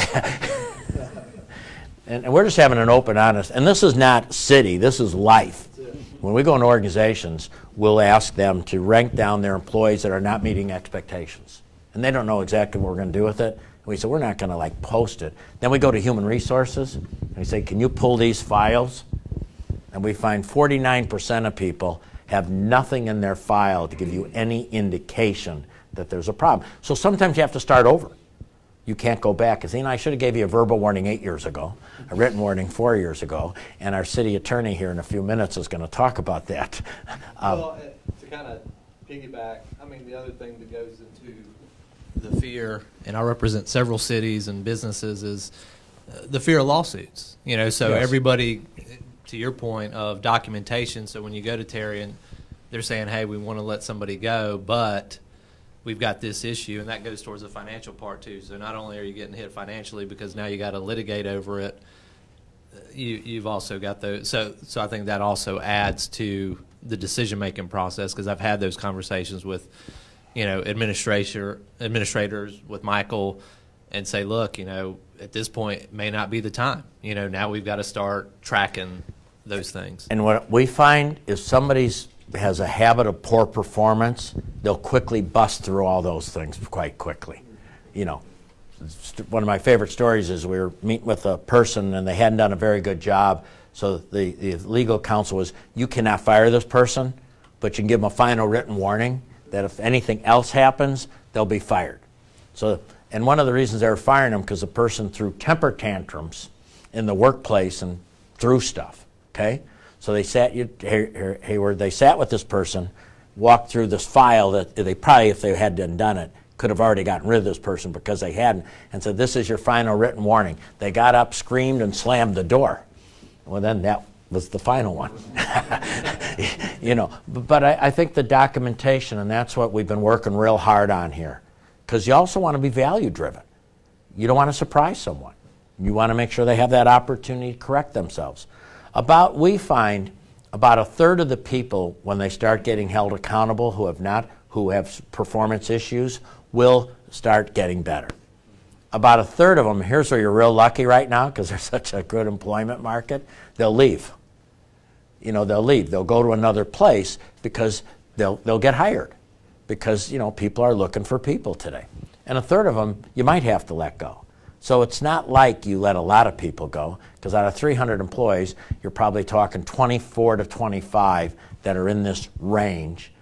That's probably what you're talking about. If you look at national statistics, that means you got 200 something that are really good, and that's why we have to really do a lot of reward and recognition and roll out behavior standards so there's consistency. You know, how, when, a, when a person um, goes and puts a permit in, when do they hear from the city? Um, uh, for residential, within uh, typically three to five days, commercial. And they know that, right? 10, Yes. So somebody says within three to five days, you will hear from us. That's the type of performance standards you need. You know, will phone calls be recalled, returned? How, how, what are, and then the- every employee signs those, by the way, and say, here's what we're committed to do, and you will find they will, because they understand that their life gets a lot better. These are things you do when everybody's feeling really good. We have a good set of behavior standards that just kind they of might- show some examples. You might have them, don't you? You have them? Oh, do we have them? Yeah. we, we do. I mean, we have policies. I was going to say we when we send them out as part of Quint's media package, we get calls all the time. People ask if they can reprint them. Yeah. So I mean, I'm happy to. We'll send get them over those to to you. The- These are a little more than policies. Right. It's very much how we're going to act. It's how you answer the and every day. phone. It might be, you know, how you indicate, uh, you know, what's coming next, that sort of thing. But it's just a good thing to look at to see if you can brush yours up a little. So what phase two is what we've been sort of going through here a little bit, and I'm just bringing up to date over the last two years we've been here. A little we they, you know, some are getting it, some are not. You can get these these between departments over resources. I mean, you were in the Air Force, right? Yes. Okay, yeah. Some of you, you get the, you know, who's getting money and who isn't getting money, who's getting support. And, and you start, once you start getting better, you clarify the inconsistency. Because now you know what you're looking for, so it almost seems like it gets worse. It's bigger than I thought. This will impact me, and some are getting and some are not. Because you got a big challenge here. You, you, you're getting ready to go through some of the most exciting times in the history of Fort Walton Beach. I mean, when you looked at what you've got sitting there, and that's why you've got things happening, messaging, you, you are ready. Whatever you go here, you, you are ready to go through some of the most exciting times to, to really put Fort Walton Beach uh, even more on the map. I don't know if any of you travel, but when I used to travel all the time, somebody'd say, Where do you live? And I'd say, Pensacola. And they'd look at me like, Where's that? And I'd say, Have you ever heard of Destin? Oh, yeah, we've heard of Destin. Everybody's heard of Destin, it seemed, on that plane. And, and, and when I was coming into Pensacola, well, you want people now, some, somebody says, I'm from Destin. And they say, or Sandestin. How about this, Seaside? And they say, well, you know, I don't know, Seaside. He says, well, it's by Fort Walton Beach. Oh, yeah, I've heard of that. I've heard of that. So, I mean, you're, you're in a period that I think you've been getting ready for for like the last six years. You've stabilized your financials much more than they were six years ago, aren't they? Yes. Stabilized your financials. You, you've got more money than you need, not that you want, but than you need sitting there. You have access to capital. You, you have a good opportunity, and your downtown is, your downtown is moving, moving right along. So I, I think this is bigger, but, and some will get it and some will not. And this includes some in the community will not like this growth. Some people like things staying the same. Because if they stay the same, you're going to hear that. We used to be such a small little town, and now we're not. I used to know everybody, and I don't know everybody anymore. And I used to be able to get right to, from this place to this place in six minutes, and now it's going to take me 12 for crying out loud. And I used to be able to find a parking spot. Now I can longer find a parking spot. And you almost have to sort of say, oh, that's too bad, but gosh, is that good? I mean, that, you know, it's almost like you have too much construction work. and that's not bad. It's not bad, but yeah. But sometimes you have to say no to people, and you have to say no to people you've done work for before. Yes. There's this is life. So then we go to phase two, which is, and you've been already through these. Just so you know, your you've been your training's getting more focused. We did a whole thing for your team on recruiting high performers.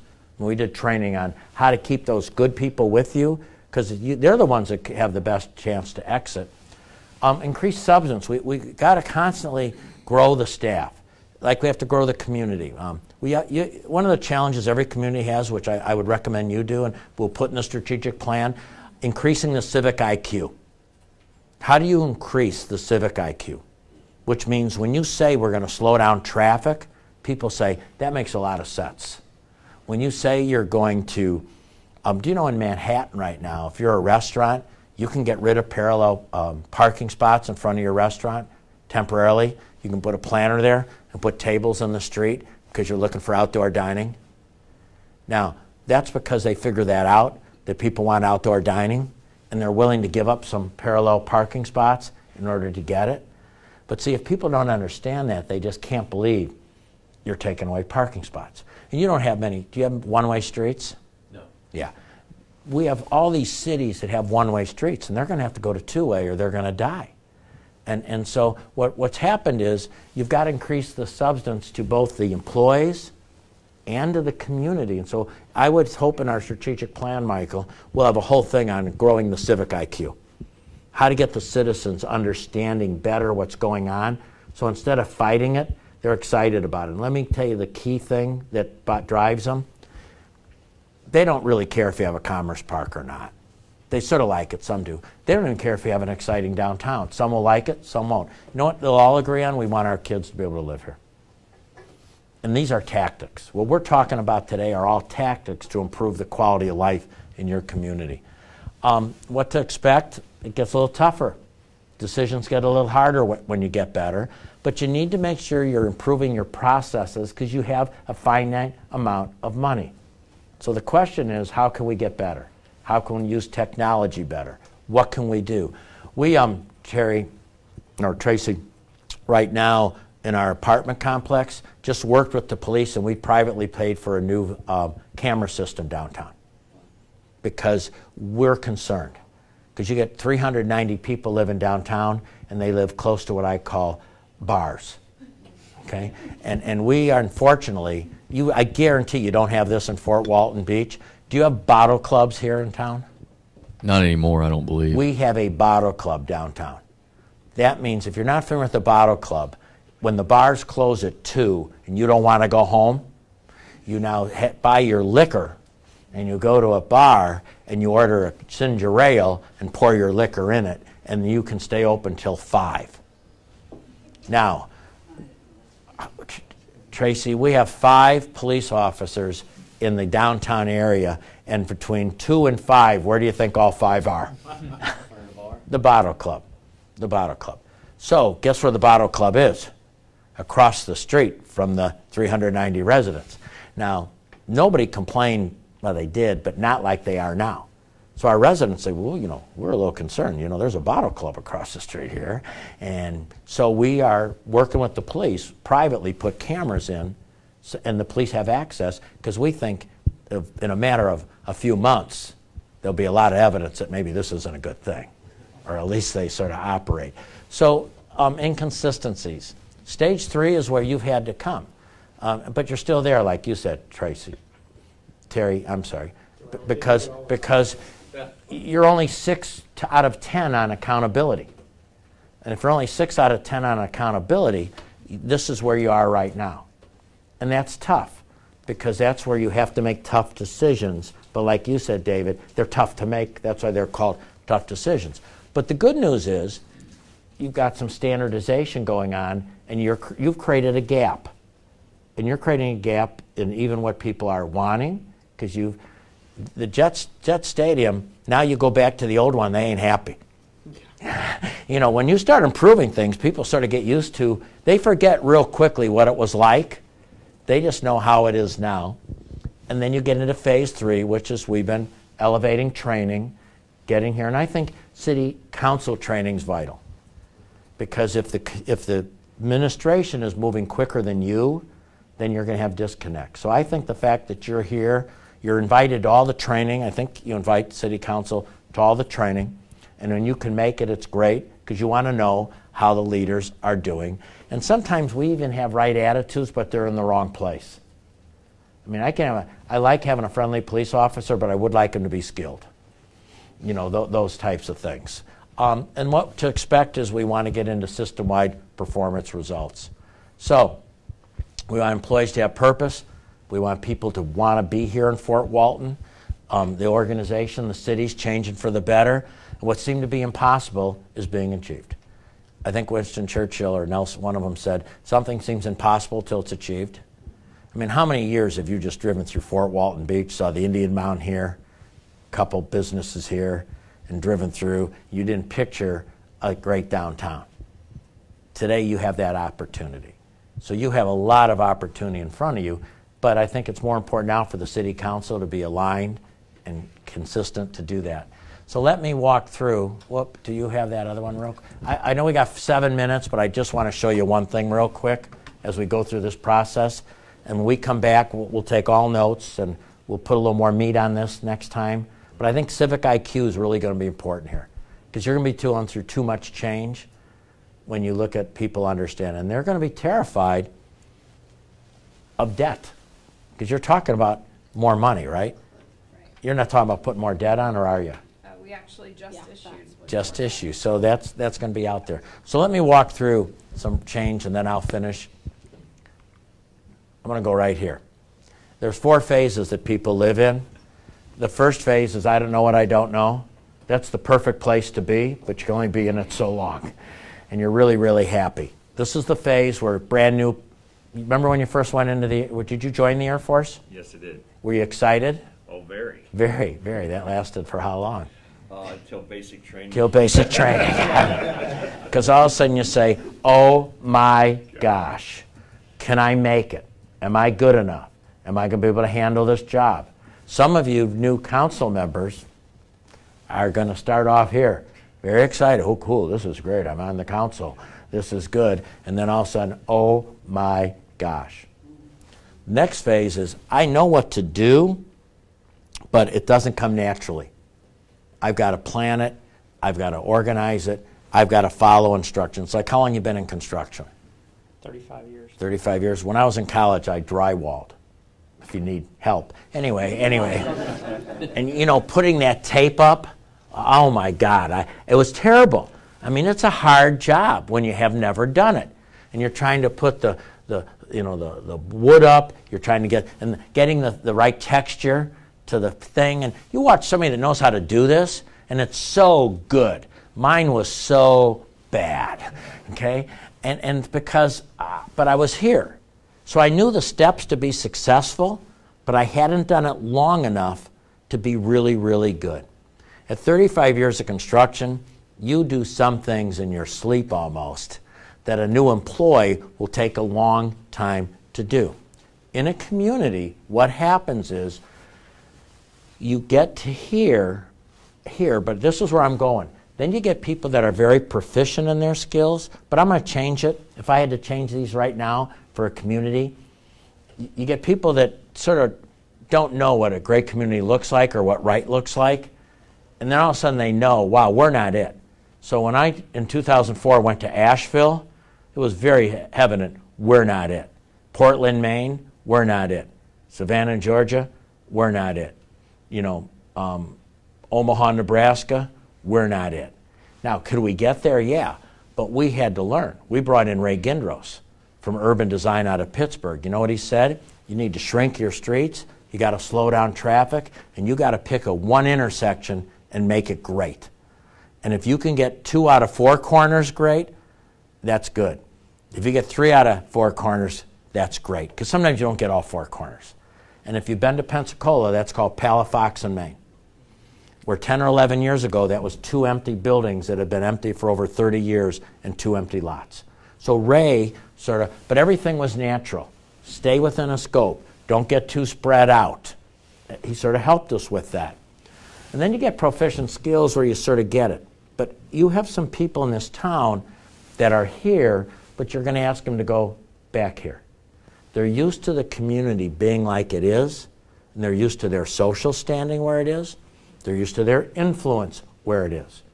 And also, when you create change, even your people that you think should love change are going to push back sometimes because they don't have that same city council person they can get the ear to. All of a sudden, the decisions are being made that they can't influence, or they're even wondering, am I going to be that successful here? That's what makes downtown so hard. You know, I, I was on the board of a chamber, but people want new jobs, but new companies, but not something to compete with them. You know, and, and you have to get to the point where you move from a culture of scarcity to that you're going to grow the pie. And what Fort Walton Beach is doing right now is you've made the decision to grow the pie. You've not made the decision to contain your growth. You've made the decision to grow the pie for all good reasons. More tax revenue means more people, or more people, more tax revenue needs more support for police, more supports of fire, better school district because you have more money to put in, and it also means more sustainability. And that's why these decisions that you're making over the next two to three years, I think, I think you said it from the start, are going to be decisions that are going to impact Fort Walton Beach for 30 to 40 years. And that's why it's so hard to be an elected official, because you could actually make a decision which would cause you not to be reelected, possibly. But it still might be the right decision, by the way. So I think great elected officials put the community above themselves. And from what you said this morning, I think that's exactly what we already have and what we're, we are going to have. So thank you very much for this morning. I appreciate it very much. I just wanted to go through that because it's going to shake a little bit. Michael? Any closing comments? No, that's it. Um, I don't know if any of the council members or candidates have anything to add. We can go around the room. Yeah. Are we? So we're in the beginning. I do like your comment. On, I do like your comment on the proficiency or the proficient, proficient in skills. Uh, you know, a lot of us do work to get to our position and think we're very good at our jobs, but we forget that there's improvements after that. Yes. Uh, I see a lot of construction. You know, a lot of the old builders always want to do it the way it's always been, but technology and products have changed, and they can't change the new products, so they never worked with them. Yes. And they don't realize there's a benefit in doing that. Yeah. So I, I don't. And they get scared. I think we get proficient and complacent. And we, and we get scared. Yes. Because if we try to do the, the biggest scared group right now in the United States are physicians. Because they put in an electronic health record, so they have to do everything differently today. And now they're, the older physicians are terrified of this, can I adjust? It's different, and it's, it's hard. And you're going to get people that are going to surprise you by pushing back on things you don't think they should push back on, but it's the nature of the beast. I think you couldn't I think you said it better than anyone. Thank you. I want to thank you for putting me in a second dot right there. know what I don't know, which is good because uh, when I started thinking about what I'm going to do, I mean, if I'm just going to take on this job, and uh, I just knew that, hey, I love this city. I'm going to do the best that I can, and I'm looking forward to seeing what's going to happen.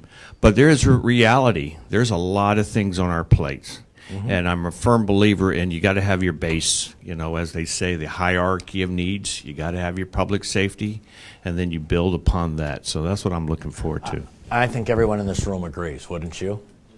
Michael? Yes. Yeah, you can't sacrifice core services. And you probably have a little bit, some periodically. Yeah, then define core services, right?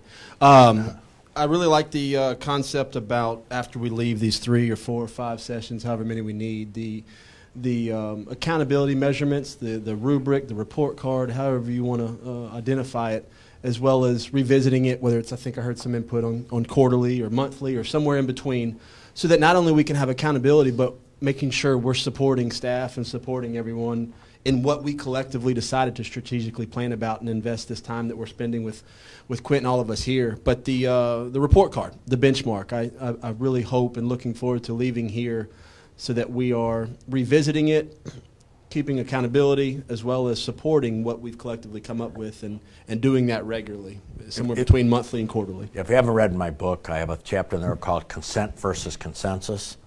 And it's really important for city council members who don't get their way to still say, I, I don't think I, but I'm still going to do everything I can to make the decision successful. And that's the challenge you, you have in any organization. John? Uh, I think it's been a real uh, productive morning. Um, uh, one one thought uh, that hadn't been the focus of today is I know, uh, being selfish for a minute, when I uh, step step aside uh, in the coming days, um, I'd I'd like to, and I've been thinking for a while, figure out a way to enhance our community involvement. Because I know in the past I've been disappointed with our budget meetings and and all those meetings that we don't have a lot of community involvement. I'm not on social media, so I don't get the Facebook messages, but but perhaps that's also something we can put into our thought process as to how to get. I know Ms. Jameson talked about wanting to be involved in the leadership council. I know I want to have uh, not not a direct role, decision making role, but I, want to have a, a uh, continue to help the community. So I'm, I'm hopeful that when we uh, do these plans and think for the future, that that can be a part of y'all's thinking is how to engage and, and, and bring the public into the duties of, of, of assisting y'all to run the city. So um, hopefully that can be a part of it. a big part of your strategic plan is going to be how to increase civic engagement. You know, how, how do you have intellectual growth? How do you have great government services? And how do you have civic engagement? Those are the three buckets. And what we learned, John, is the civic wants to be engaged, but it might be a little different, but they do. Because not everybody says, let's go to Washington today, or let's go to Tallahassee, because we get too many fights. But locally, we can all agree on most of this stuff. So I think, John, you hit it. And, and I think there's a pent up need, but you got to figure out how to fill that need. So I, I think you're going to have a, a huge chunk of this plan will be how to get the civic IQ up, is what we call it. And you can make a change locally, and it's harder to in the national stage. But Yeah. Yes. but but, I, but Yes. as a council person, I, I- found it very difficult because I didn't get uh, any community involvement unless I called a. If we're working on a fence for the Parks and Rec facility, call a friend that Unless knows it's about a that. controversy, you're not going to yes, get them and there. so hope, hopefully that I can be of assistance. But in general, we can help to bring that as part of our future is, is reaching out to those that aren't on the council to, to help us or help help you to make those decisions. I was speaking at a city, and it was cold and snowy, and I was going to the city council chambers, and I was thinking this is probably like Spinal Tap, where you go in and there's like six people, and and as I turned the corner, the city council was just full They had, you know, a place that sits 250, they had 300, they had rows of waiting, and a city council said, I haven't seen anything like this since the roundabout discussion. and, and I went in and said, probably you thought it was the roundabout discussion today, huh? So I, I think, I think we have to get people there not because they're upset. It's because they want to learn. I agree. Thank you. Amy?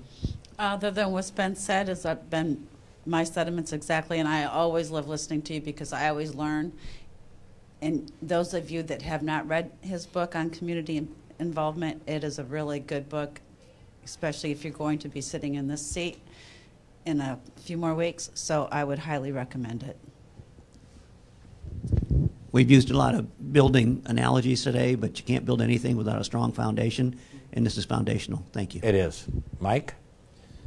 Uh, Agree, I echo everything. I, I'm really looking forward to seeing the, the system that you put in place where you can, you're proactive for the problem when it gets here, but we're Yes. gonna close the school and you have the criteria, it makes it easier. Right. It'll make, it'll make their job easier whenever they get to that point. Yeah, I think that's vital. And, uh, and, and planning for the what if, you know, what if this happens, which I, I think we've done a lot of that. Uh, I think what we've seen, maybe we need to go a little further on some of it. And as far as training, if you think it's expensive to train, see what it's gonna cost by not training. I, I agree. I can, and, and I know that. And again, I always appreciate the, what we get, because a lot of what we get from you here, we can use in our everyday businesses or whatever activities we are. I think your challenge right now is your city administration has too much things in the funnel. It's a you know mile wide, couple inches deep some places, and I think the challenge for us over the next three to five sessions is to prioritize what's in that funnel, and then as as you said, David, get supportive. So if somebody has to say no, you don't say, well, I was for it, you know, this is up to me, you do it. And so I, I think that, Mike, you hit it. I, I think there's, you, you got too much opportunity. Sometimes you have too much opportunity. You, you don't know what to say no to. And I don't, I'm not telling you what to say no to, but we have to figure out a criteria so when you s- prioritize, you, you feel better about the prioritization. You have to have a definitive goal to get there. Yeah. To know what you're, you know, how to drive and get there without going. Right. Being run. Absolutely. Nathan? Uh, I'd just like to thank uh, Mr. Beedie for being progressive enough to to have this meeting together. You know, there's a lot of places out there that are not even thinking about About 99%. Yeah, there. Well, there you go. There, you you know the odds. So uh, thank thank you, and and for also bringing the uh, the candidates in um, on this. Um it, I mean, it's it's important to, to get in, you know, early, and uh, It's like pre-orientation here. Surely, and I'm glad you came, because you know you, th- this sounds this city's moving quick enough that you're going to have to move, sort of get in with your feet moving a little bit. Yeah. Thank you, Nathan. Thank you. Ryan. This is really fun for me. I'm uh, I'm really big on training, and even this kind of training is a low impact training. It's just everybody in a room talking. Um, obviously, everybody has the same goal to make Fort Walton a better place. Um, just like my comment earlier with the the school resource officers, not to highlight any or imply any inefficiencies, but it's just to highlight to how important training is and how how much it's needed. I mean, I have three pages of notes on here and, and doodles in the side just because I'm really big on that. Um, big thing like John was saying with uh, community involvement and, and getting them educated and keeping them involved.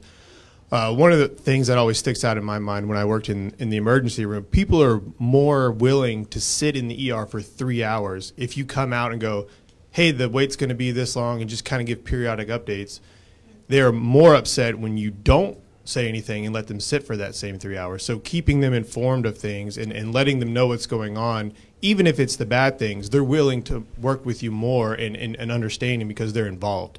Um, I think too, uh, Brian, I would call that. We sometimes wait till it's done to let people know Exactly. because we don't want to raise expectations. It's you have to narrate, whether it's narrate the care, narrate the progress, narrate where you're at, or people feel forgotten. I don't if it's an ER or if it's in a store or if it's in a community. And I find too many people. Well, so I didn't. I wanted to wait till we got farther down the road before I said anything. We have to tell people early where we're going and then give them updates along the way. So thanks for bringing that up. Exactly. Um, the other thing that was big in my mind uh, that I kept hearing is, is the retention thing, and and I know it's it's it's big in the emergency service. That's kind of the forefront because everybody sees that a lot. Especially Mhm. you know they've got visible uh, buildings and, and vehicles and things like that. Um, retaining those people, especially if you're turning over every two to three years, it's it's really hard to keep good people in, and then you have those good people that can be role models for incoming people. Um, the biggest thing is, like she said in the back, you have mental health cases that sending the same officer out to those people.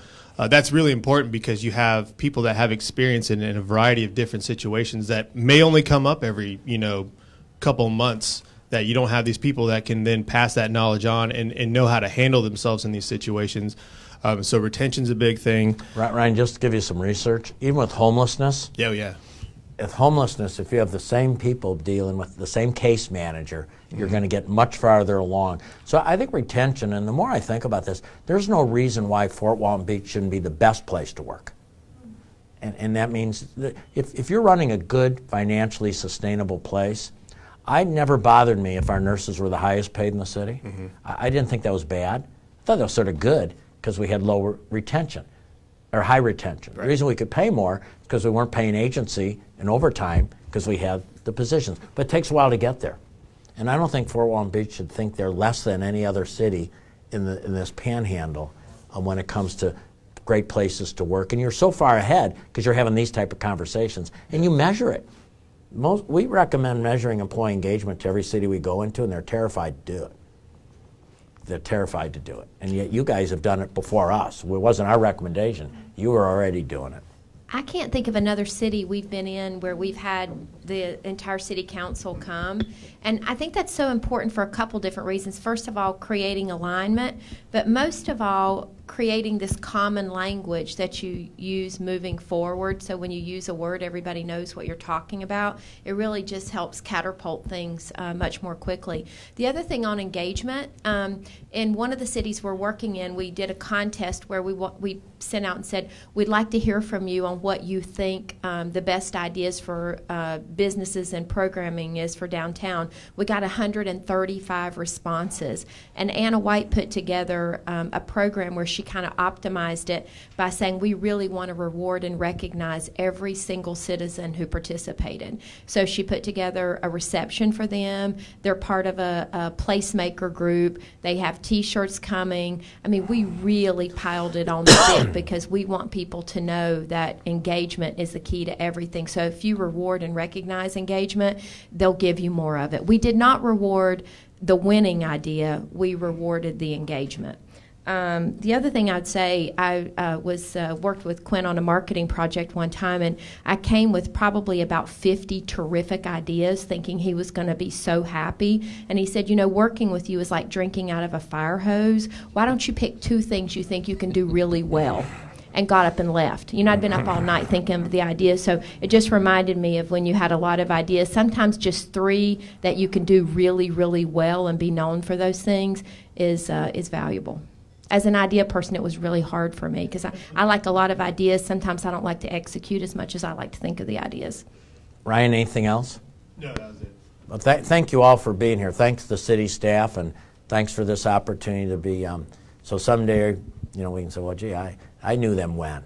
I knew them when," because you have the moons have all aligned for you right now. It's gotten a little too crowded in some places. People are looking for a different. They're looking for more than just a white beach. They're looking for a place, and you've sort of got that.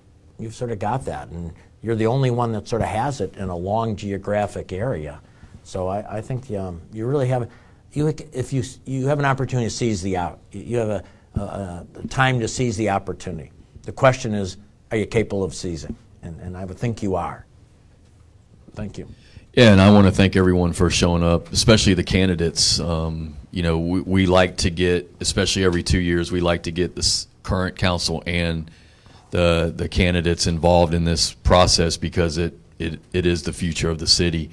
Um, I will say that on John's point about getting more engagement, our experience over the last three or four years, you know, we we we form stakeholders groups for the big projects and get get a lot of engagement with that. But unfortunately, when we have our budget meetings and really when we have this type of meeting, Dean, you're you're about the only staple that that shows up every time. But we'll give you a T-shirt too. But you know, uh, unfortunately, in our community, the negatives usually are the ones that speak out.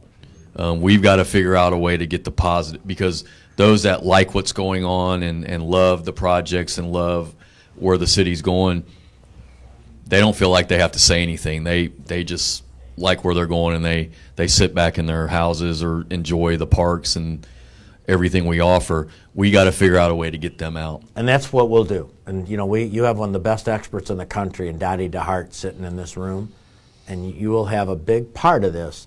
You know, if you look at your strategic plan, it has a lot of pieces, but I think really focusing deep on what we're talking about um, is, is where we can go. But I think some of the messaging that Quint said about change, you know, change is hard, change is tough, it's not easy. Y'all are the group that's that are going to be tasked with a lot of those tough decisions, and you're going to hear, you know, people aren't going to like you, they're going to make comments about you, but hopefully, you know, we as staff, it's our responsibility to provide you with the information and educate you.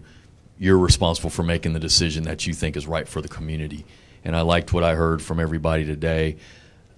The staff you see on the back wall, I would recommend that you reach out to them and talk to them, learn what we do. Uh, like I said, we're, we're going through the task right now of listing all of our services and trying to figure out what, what our core services are. I would like to task the elected officials and the candidates, what do you think are core services? What, what, what do you think are the city's core services?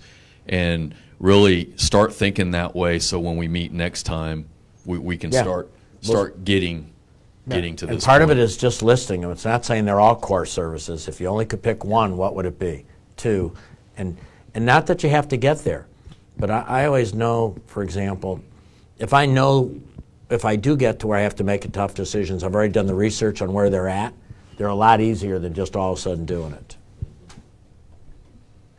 But other than that, thank you, Quint. Thank- Thank yeah, you. it was a, a great session. Thanks for the opportunity. Thank you.